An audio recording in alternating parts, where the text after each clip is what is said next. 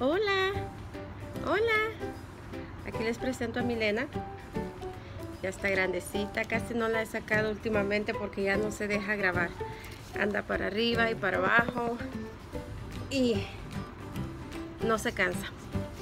Eh, la tarde de hoy voy a compartirles cómo producir leche materna saludable, buena, nutritiva, que tenga los nutrientes, las vitaminas eh, necesarias, suficientes que nuestros bebés necesitan para su crecimiento, su desarrollo, su crecimiento, desde que salen de nuestro vientre hasta que nuestro Dios les permita estar en esta tierra.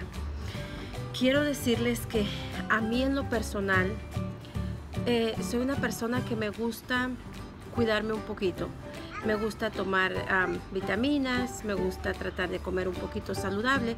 No hago dietas, definitivamente no las hago, pero trato de evitar todo aquello que no es saludable. Trato de evitar todo aquello que tiene exagerada grasa, demasiado azúcares. Entonces creo que eso me ha llevado a, a no tener un sistema tan malo o no padecer tanto enfermedades. Cuando a mí me dijeron que ella estaba embarazada, mi prueba de embarazo dio positiva, eh, empecé a tomar las pastillas prenatales, las vitaminas. Yo he escuchado muchos testimonios de mujeres que no les gusta, que no las toman y que en su experiencia dicen que les da náusea, que les da dolor de cabeza. En fin, he escuchado testimonios que a mí me han contado de muchas mujeres que han optado por no tomar la pastilla prenatal, por no tomar las vitaminas para el desarrollo y el crecimiento del bebé, del feto durante los nueve meses. Y yo quiero decirles que en lo personal eso es un error. Yo pienso... Mi amor. Yo pienso que ese es un grave error porque nosotras debemos alimentarnos, nutrirnos para que ese bebé nazca sano, para que nazca bien, para que todos sus huesitos, todos sus órganos se desarrollen al máximo porque ellos van a tomar de nosotros, de nuestro cuerpo, los nutrientes necesarios para formarse. Y si ellos no lo tienen de nosotros van a haber deficiencias. A veces hay defectos físicos y a veces son niños muy enfermizos.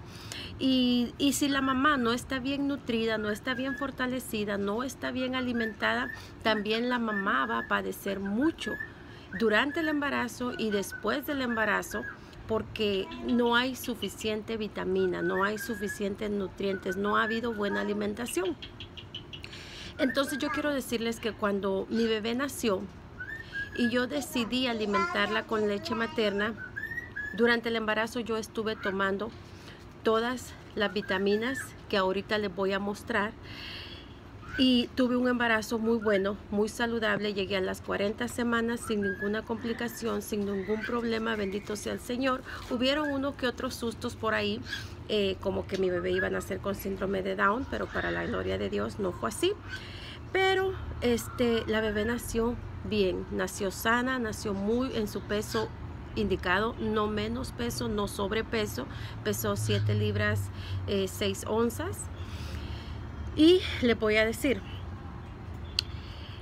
yo seguí tomando la pastilla prenatal, las vitaminas, pero durante el embarazo yo estuve tomando el omega, omega 3, omega 6, omega 9, cualquiera de los omegas que, que, estén, a veces hay omega 3 o a veces vienen todos mixtos, eh, combinados, vienen los, los omegas que hay juntos.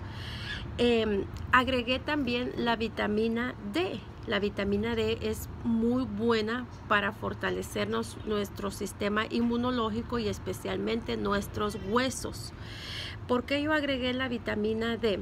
Porque yo empecé a sentir eh, dolor en mis huesos durante el embarazo. Como en el tercer o cuarto mes empecé a sentir que me dolían mis rodillas, que me dolían un poquito mis huesos. También recordemos de que esto no depende tanto la edad, porque hay jovencitas que sus embarazos son muy malos porque han tenido una muy mala alimentación o porque su, madre durante el embarazo no tuvo buena alimentación y ellos están padeciendo las consecuencias.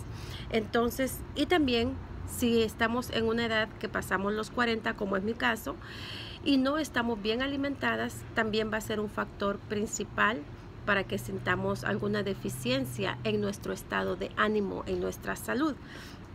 Entonces yo agregué el omega, este es omega 3 que sigo tomándolo, la vitamina D,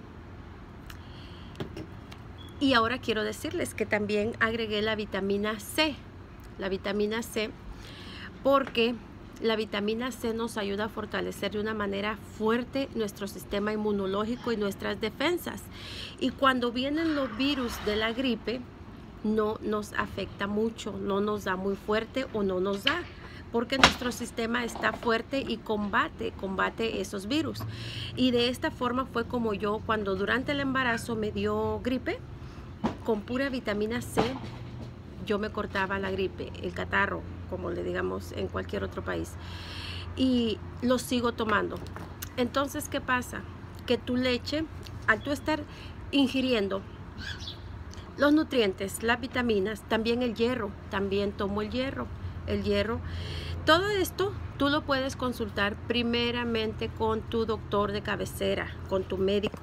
Puedes preguntarle para que si tú tomas la decisión de agregar otros, em, otras vitaminas, otros nutrientes a tu, a tu estilo de vida, eh, lo hagas con la confianza de que no hay ningún problema ni ningún riesgo y que no hay efectos secundarios y que no hay ningún problema si tomas algún otro medicamento.